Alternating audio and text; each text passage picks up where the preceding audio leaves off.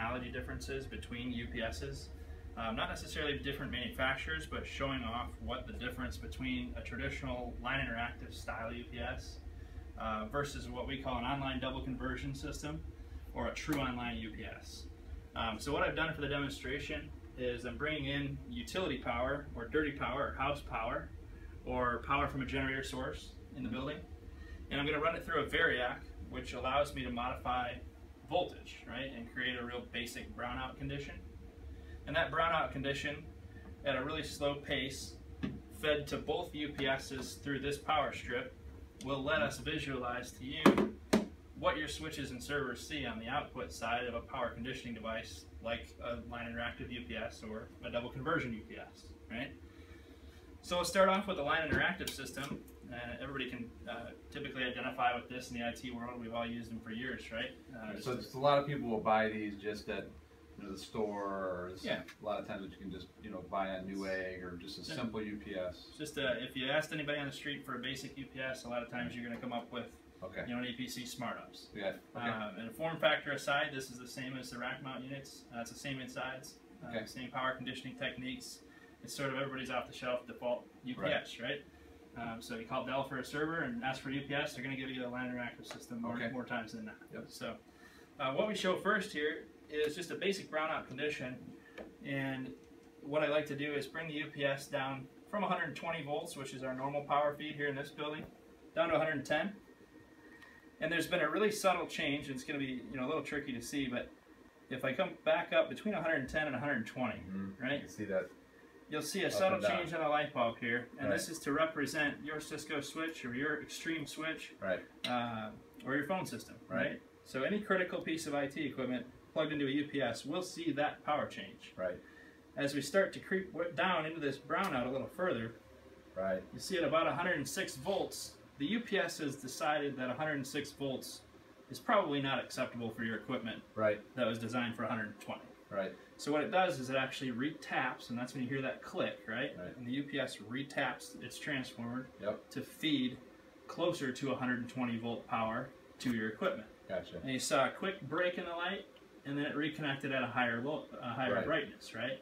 Right. So your switch and server sees that, Mm-hmm. right? And it, and it, causes excess wear and tear on your power supplies. Right. So when that happens, what does that do to the batteries? Um, so right now, we're in this state, we're still charging the batteries. Mm-hmm. So right now, we're not depleting the batteries, so we're not causing wear on the batteries just yet. Right. Right. And we'll get to a point where we do. Okay. But right now, we're actually using the power conditioning technique inside the line interactive system. Gotcha. Okay. Um, just to just make a minor correction to that voltage. Gotcha. Okay. Um, and there's one more tap on this UPS. This particular model will get us uh, somewhere in the neighborhood of 92 volts or so, mm-hmm. and give us one more tap, mm-hmm. right? And so we're still charging the batteries, and we can run like this indefinitely. Right. Okay.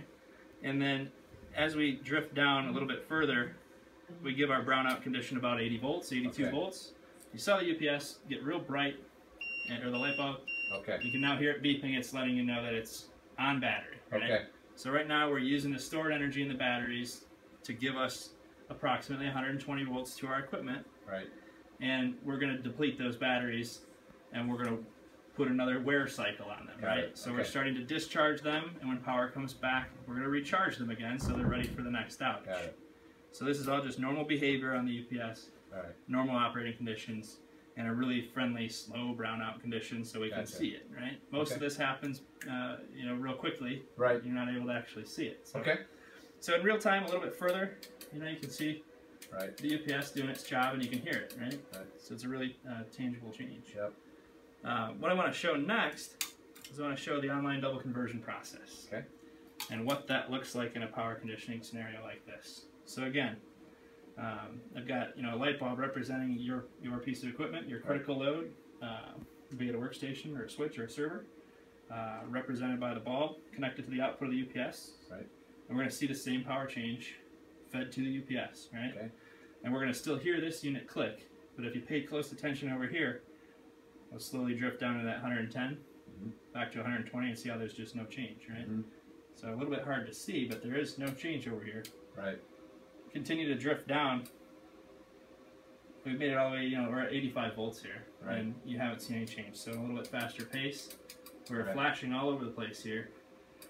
and we're not making any noise, and we're not flashing over here at all. And that's because this is not switching on and off of the battery or on and off and everything, right? The- Yeah, it's physically not re, uh, retapping the transformer inside the UPS. Right. Right.